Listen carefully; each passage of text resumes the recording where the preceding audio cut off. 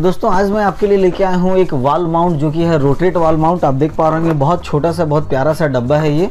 और ये जो वाल माउंट है दोस्तों, ये 14 इंच का मॉनिटर से लेके आप 27 इंच तक के मॉनिटर के लिए आप यूज़ में ईजिली ले सकते हैं, कोई दिक्कत नहीं आएगा। और बहुत अच्छा है, इसकी बिल्ड क्वालिटी भी काफ़ी लाजवाब है। तो यहाँ पे आप देख पा रहे होंगे, लिखा हुआ यहाँ पे एलईडी एलसीडी और पीओपी और यहाँ 14 से 27 इंच इसका दिया गया मॉनिटर का साइज़ और इसका व्यूविंग एंगल दोस्तों, यहाँ पे आपको दिखा रहा है, माइनस पंद्रह से लेके प्लस 15 डिग्री जाएगा और 180 डिग्री तक ये रोटेशन आपको मिल जाता है। चलिए ओपन करते हैं। तो बॉक्स में ज़्यादा कुछ तो दिखाने के लिए है नहीं, बस एक ही आपको वालमाउंट मिलेगा। छोटा सा इसका स्क्रू वगैरह मिल जाएगा। एक ये वाटर लेवल मिलता है और बॉक्स में और कुछ नहीं है। चलिए साइड करते हैं। तो यहाँ पे दोस्तों ये आपको मिल जाएगा कुछ माउंट किट ये जो है, साथ में एक वाटर लेवल मिलता है देखने के लिए कि आप इसे जब माउंट करेंगे तो ये सीधा माउंट हो सके उसके लिए। इसके साथ ही में यहाँ पे कुछ स्क्रू आपको मिल जाता है देखने को। इसमें दो स्क्रू दिया गया दोस्तों इसे माउंट करने के लिए, पर वेरी ऑनेस्टली मैं बताना चाहूँगा कि इन दोनों स्क्रू में आप कभी भी इसको माउंट नहीं कीजिएगा, क्योंकि बहुत छोटा स्क्रू है, वज़न नहीं लेता है। तो इस तरह का बड़ा स्क्रू आपको चाहिए होगा और इस तरह का बीट चाहिए होगा इसे माउंट करने के लिए। तो यहाँ पे आपको दो मिल जाता है वाशर, जो दिया गया है इस दोनों के लिए। और चार छोटे छोटे वाशर मिल जाएँगे और चार छोटे छोटे स्क्रू, जिससे आप मॉनिटर में इसे टाइट करेंगे। और दोस्तों, ये है वाल माउंट जो आप देख रहे हैं तो ये इस तरह से पहले तो ओपन हो जाएगा। इसको आप फुल्ली इस तरह से सीधा कर सकते हैं, ये इधर भी सीधा होगा और ये इसका बेस है। ये इधर सीधा हो जाएगा, यहाँ रेंच की मदद से आप सभी नटों को ढीला या टाइट करके इसे एडजस्ट कर पाएँगे। यहाँ पे दो हमें स्क्रू टाइट करने का जगह मिलता है, जो वॉल पे इस तरह से टाइट हो जाएगा। और यहाँ पे आप मॉनिटर अपना लगा लेंगे। तो कुछ इस तरह से हो जाएगा। इसमें आपको बेनिफिट ये हो जाएगा कि आप पूरा राइट के तरफ़ लेके जा सकते हैं, पूरा लेफ़्ट में आप लेके जा सकते हैं और अप एंड डाउन में आपको 15 डिग्री मिलेगा। यहाँ पे एक छोटा सा स्क्रू दिया हुआ है, आप इसको लूज़ करेंगे इस तरह से। इसको लूज़ जब कर लेंगे तो आप देख पा रहे हैं, यहाँ पे ये प्लेट इस तरह से मूवमेंट कर रहा है। तो ये नीचे कर सकते हैं और अगर आपको ऊपर करना है तो ऐसे ऊपर ले सकते हैं। तो ये आपको 15 डिग्री डिग्री तक अप एंड डाउन मिल जाएगा, बट राइट और लेफ़्ट आपको पूरा मिल जाता है। और आप चाहें तो इसे माउंट करने के बाद वाल से पूरा टच में रख सकते हैं। इस तरह से मान लीजिए आपने वाल पर इसे टाइट किया और इस तरह से फोल्ड करके आप पूरा का पूरा इसे सटा भी सकते हैं वॉल में। तो बिल्कुल जगह थोड़ा सा एकदम लेता है ये। और ये इस तरह से वॉल में टाइट हो जाएगा मोनिटर आ जाएगा। बीच में आपका तीन से साढ़े तीन इंच का डिफरेंस देखने को मिलेगा। तो ये बहुत अच्छी चीज़ है दोस्तों। तो आप देख पा रहे हैं, इसकी जो साइज़ निकल के आ रही है, यानी वॉल से मोनिटर का जो दूरी रहेगा, पूरा बारह इंच आ रहा नेट आप देख पा रहे हैं यहाँ पे। यानी वॉल से आपको एक फीट का यहाँ पे डिस्टेंस देखने को मिल जाता है। जब भी इस वॉल माउंट का आप यूज़ करेंगे और काफ़ी हेवी वेट है, पूरा मेटल बॉडी में ये है, आप देख पा रहे हैं, इसमें किसी भी तरह का कोई डाउट नहीं है। ये जो सिर्फ़ टाइट करने के लिए दिया गया है, ये फाइबर का है। तो दोस्तों, यहाँ पे एक मॉनिटर हमारे पास है, जो कि 22 इंच का मॉनिटर है, इसे हम लोग माउंट करेंगे। तो बस आपको इसे यहाँ पे लगाना है। और उसके बाद इसे वॉल में टाइट करना है। तो कैसे माउंट करेंगे आप, वो मैं आपको दिखाऊँगा आज। तो दोस्तों, यहाँ पे इस लोकेशन में हम अभी मॉनिटर को माउंट करेंगे। ये पहले से एक फिक्स प्लेट का है, जिसमें जगह नहीं होता था माउंट करने के लिए। तो ये दूसरे मोनिटर का इसे हटाएँगे। और यहाँ पे हमें लगाना है ये कुछ दो स्क्रू और बीट है, इसके मदद से हम लोग यहाँ पे इसे लगाएँगे। तो कैसे लगाएँगे? चलिए वो मैं आपको दिखाता हूँ। तो दोस्तों, यहाँ पे मैंने ड्रिल बीट ले लिया है। जो भी आप स्क्रू यूज़ करेंगे, उसके थिकनेस के हिसाब से आप ड्रिल का बीट लीजिएगा। दोस्तों, मैं अभी 8 एम mm का बीट यूज़ कर रहा हूँ। तो यहाँ पे दो हमें सिर्फ़ सिंपल सा हॉल कर लेना है। दोस्तों, आपको जो ड्रिल है, वो आपको अपने नट के हिसाब से जो भी स्क्रू यूज़ करेंगे तो आप देख पा रहे हैं, ये स्क्रू इतना आ रहा है। मैंने थोड़ा सा एक्स्ट्रा लिया था। तो जो भी आप यहाँ पे स्क्रू यूज़ करने वाले हैं, उसके अकॉर्डिंग आप यहाँ पे ड्रिल कर लीजिएगा। और ड्रिल कीजिएगा तो इस तरह से कूट ज़रूर नीचे लगा लीजिएगा। मतलब जिस भी जगह पे आप ड्रिल करते हैं, इससे फ़ायदा ये होगा आपको कि ये जो डस्ट है, आप देख पा रहे हैं, ये डस्ट फैलेगा नहीं तो क्लीनिंग भी काफ़ी अच्छी रहेगी, आपको परेशानी नहीं उठाना पड़ेगा। तो आप देख रहे हैं, इतना सारा डस्ट निकला है, अभी थोड़ा और निकलेगा। और स्क्रू ड्राइवर की मदद से आप इस तरह से डस्ट इसका बाहर निकाल लीजिएगा। चलिए दोस्तों, ये दोनों बीट है, इसको हम लोग इसमें डाल देंगे इस तरह से। तो दोस्तों, याद रहे, ये थोड़ा टाइट ही रहे, ताकि आपका स्क्रू जब आप इसमें टाइट करें तो लूज़ ना हो। तो आप देख रहे हैं यहाँ पे परफेक्ट बिल्कुल बैठा है। तो यहाँ पे मैंने बीट लगा दिया।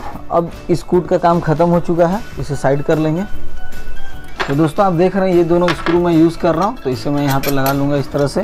और स्क्रू ड्राइवर की मदद से आपको इसको टाइट कर लेना है। या अगर आप बोल्ट यूज़ कर रहे हैं नट वगैरह तो रेंच की मदद से आप टाइट कीजिएगा। मैं स्क्रू लगा रहा हूँ तो मैं अभी स्क्रू ड्राइवर से ही टाइट कर ले रहा हूँ।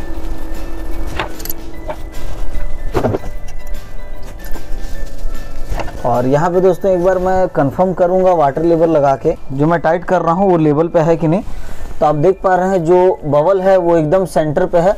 अगर थोड़ा बहुत प्रॉब्लम आती है तो हम लोग इसे साइड में इस तरह से हल्का सा एडजस्ट कर पाएँगे। तो देख रहे हैं आप बबल बिल्कुल सेंटर पे है, यानी बिल्कुल सही लगा है। इसे अब फुल टाइट कर दूँगा मैं। तो दोस्तों, एक नट पूरा टाइट हो चुका है। सेकंड नट को भी हम लोग यहाँ पे टाइट कर लेंगे फुल एकदम। तो दोस्तों, आपको एक चीज़ का बिल्कुल ध्यान रखना है कि जो भी स्क्रू आप इसमें यूज़ करेंगे, उसकी जो थिकनेस है, वो मोटी होनी चाहिए और कम से कम आप दो इंची प्लस यूज़ कीजिए।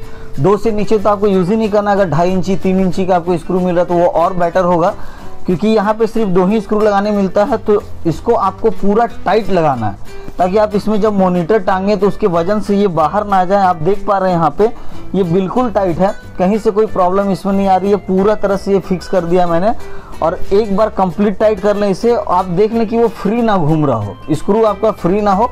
जैसे अभी मैं यहाँ पे अगर टाइट कर रहा हूँ तो ये अब नहीं घूम रहा है, क्योंकि ये फाइनल फुल टाइट हो चुका है। अगर आपका स्क्रू फ्री हो जाता है तो आप उसे वापस खोलें और ये जो बीट मैंने अंदर में डाला था, आप इस बीट को हाफ़ कटिंग कर लें और इसकी हाफ़ कटिंग को उसमें लगा के फिर टाइट करें, ताकि जो आपका स्क्रू है वो कंप्लीट टाइट हो।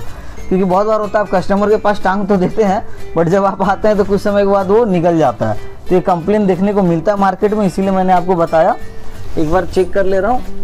तो चलिए, ये पूरा टाइट हो चुका है। तो दोस्तों, अब मॉनिटर को मुझे इसमें टाइट करना है। तो ये कुछ चार स्क्रू है दोस्तों, मैंने आपको बताया था मॉनिटर टाइट करना है मुझे इसमें। तो पहले इस तरह से मैं इसे साइड में घुमा ले रहा हूँ। और ये हमारा मॉनिटर है तो इस तरह से सेंटर मिला लेंगे। और सेंटर मिलाने के बाद दोस्तों, मैंने आपको बताया था कि मेरे वाले मोनिटर में हमारा मिड वाला जो पॉइंट है स्क्रू का, वो यहाँ पे मैच कर रहा था। तो आप अपने वाले में देखेंगे कि आपका कौन सा मैच कर रहा है मैचिंग कर लेंगे। और यहाँ पे देख रहे हैं आप, मैंने एक स्क्रू लगा दिया। और ये सेकंड वाला को अब लगा रहा हूँ। और आपको बिल्कुल ध्यान देना है दोस्तों जब भी आप मॉनिटर को टाइट करें, आप फ्रंट स्क्रीन पे प्रेशर बिल्कुल ना दें। ऐसा ना हो कि आप फ्रंट से हैंड मोनीटर पे लगा के रखें पीछे की तरफ़ पुश कर रहे हैं और टाइट कर रहे हैं। ऐसा बिल्कुल ना करें। आपको दिक्कत हो तो आप यहाँ साइड में पकड़ सकते हैं। साइड में पकड़ के इस तरह से आप टाइट करें या फिर नीचे यहाँ पे पकड़ लें बेस में। यानी ये साइड में कहीं ना कहीं पकड़े या इस तरह से यहाँ पकड़े। सेंटर पे स्क्रीन पे लोड ना दे। इससे स्क्रीन खराब होने का चांस हो जाता है दोस्तों। और ये मैंने टाइट कर दिया।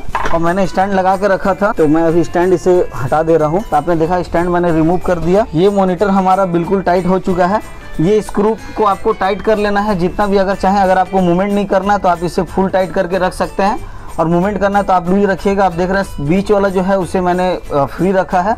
ये मेरा थोड़ा हार्ड है, क्योंकि इसमें मुझे ज़्यादा मूवमेंट नहीं करना है। तो दोस्तों, आप देख पा रहे हैं, यहाँ पे हमारा मॉनिटर माउंट हो चुका है और मैं इस तरह से इसे साइड में फोल्ड कर सकता हूँ।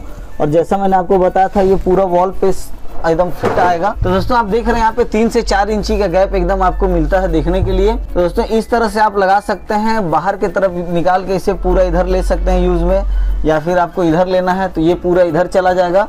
अप एंड डाउन का जो लेवल है दोस्तों, वो मैं आपको अब एक बार दिखा दूँ। तो अभी जो है, ये एकदम सीधा पॉइंट पे लगा हुआ है। ये है दोस्तों अप का लेवल अगर हमको ऊपर की तरफ़ करना हो अप करना हो तो देखिए ये इस तरह से हो जाएगा। आप साइड से देखेंगे तो समझ में आएगा। ये अप का लेवल है। अगर डाउन देखें हम लोग तो इसे लूज करेंगे अगेन तो ये आप देख पा रहे हैं डाउन का लेवल है। तो इस तरह से भी आप इसे यूज़ में ले सकते हैं अप एंड डाउन में, जो भी आपको रखना हो। तो ये देखिए, बिल्कुल सीधा लगा हुआ है मॉनिटर ये, और चैनल के बराबर आया है अप एंड डाउन एकदम वहीं पे है। बहुत इजीली आराम से इस तरह से लगा सकते हैं। चलिए एक बार ऑन भी करके इसको दिखाता हूँ मैं आपको। तो दोस्तों, आप देख पा रहे हैं, ये मॉनिटर हमारा ऑन हो चुका है। कुछ इसी तरह से आप बहुत आराम से इजिली माउंट कर पाएँगे, और बहुत अच्छा ये वॉल माउंट है दोस्तों। बिल्ड क्वालिटी भी इसकी काफ़ी अच्छी है। तो दोस्तों, अगर आपको ये वॉल माउंट परचेज करना हो, अगर आप चाहते हैं ये वॉल माउंट को लेना तो आप नीचे दिए गए व्हाट्सअप नंबर पे हमें व्हाट्सअप कर सकते हैं। अगर हमारे चैनल पे आप फ़र्स्ट टाइम आए हैं फ़र्स्ट बार हमारा वीडियो देख रहे हैं तो चैनल को सब्सक्राइब ज़रूर कर लीजिएगा और दोस्तों बेल का आइकॉन को प्रेस करना है आपको। ऑल का ऑप्शन सेलेक्ट करना है, क्योंकि मैं सिर्फ़ वॉल माउंट नहीं, बल्कि बहुत ही डिफरेंट टाइप के कैमरे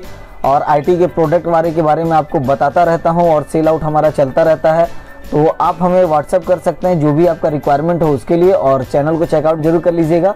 एक और चैनल है दोस्तों, मेरा स्पायरो इन्फोटेक नाम है चैनल का दोस्तों। उस पर आप जाके भी देख सकते हैं, बहुत सारी चीज़ें आपको वहाँ भी मिल जाएँगी। तो चलिए, मिलता हूँ अगले वीडियो में नए टॉपिक के साथ। तब तक के लिए दीजिए thank you for watching thank you